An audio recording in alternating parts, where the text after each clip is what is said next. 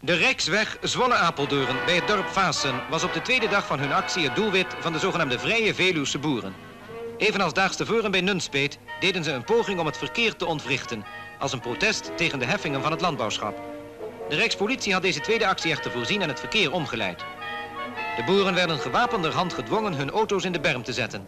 Maar op sommigen maakte dit optreden weinig indruk. Evenals de vorige dag kwam het tot heftige discussies tussen de boeren en de politie... die met karabijnen gewapend de weg schoonveegden... om te voorkomen dat de boeren hun auto's opnieuw in de strijd zouden brengen. De Veluwse boeren waren in verzet gekomen uit solidariteit met boer Koekoek... die geweigerd had een heffing van het landbouwschap te betalen... zodat er beslag was gelegd op een gedeelte van zijn land. Inmiddels aangerukte versterkingen van panzerwagens verhinderden het plan van de boeren zich naar Epe te begeven om de tocht van het koninklijk paard te verstoren dat een bezoek bracht aan de aldaar gelegerde vierde divisie. De Veluwse boeren moesten tot de avond wachten voor ze naar huis mochten. Boer Koekoek en de secretaris van zijn organisatie, de heer Harmsen, zagen hun actie in elkaar klappen. Later verklaarde het tweetal geen wegen meer te zullen blokkeren nadat het duidelijk was geworden dat zij op deze wijze hun doel nooit zouden bereiken.